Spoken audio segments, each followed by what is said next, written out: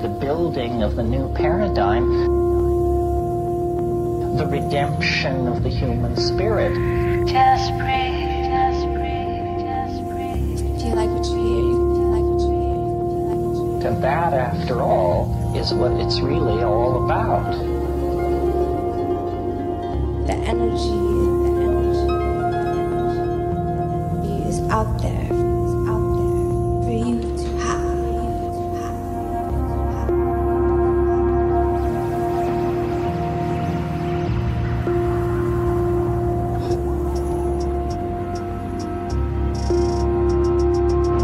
Happens to us in altered states of consciousness. I have arrived at some personal opinions about these mysteries through my research and through my, my own exploration.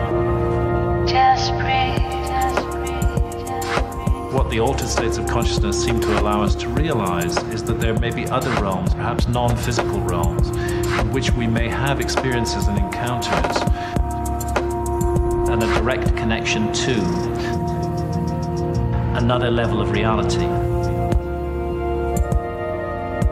There are these electromagnetic waves that are in the air around us. And, and what's uh, seemingly unbelievable with the, this portable technology is I, I can go online and pull out of thin air information about more or less any subject. And that's called the internet.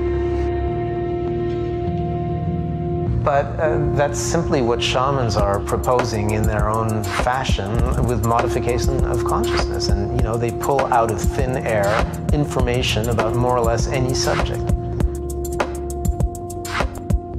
It's completely magic. It's an uh, unbelievable resource. And, uh, you know, uh, interesting.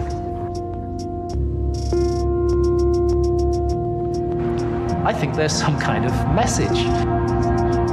It's as though there's a, a secret doorway inside our minds that, through which we may project our consciousness into another realm and encounter that realm and experience it directly.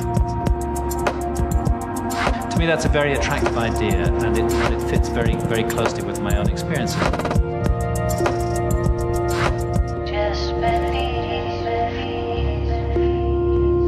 believe. So we are finding ways out of the three dimensional Newtonian prison, which says, you know, life is narrow and confined and ends at the grave.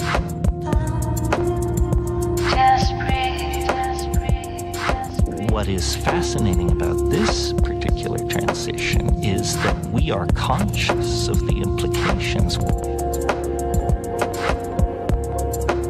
Obviously, we're on the brink of building computer assisted worlds that don't, quote unquote, really exist, but that which we will experience the way we experience dreams or the imagination. And I think this is where psychedelic substances come in. Albert Hofmann's discovery of LSD demonstrated that that is accessible to most people, a non physical realm of information. Key for transformation is the psychedelic experience it gets you used to the idea that the world is not what it appears to be, and it gets you used to the idea that the world is somehow animate, intelligent, and proceeding along its own agenda. Every one of us, when we go into the psychedelic state, this is what we should be looking for. You are an explorer and you represent our species. And the greatest good you can do is to bring back a new idea because our world is endangered by the absence of good ideas. Our world is in crisis because of the absence of consciousness. Just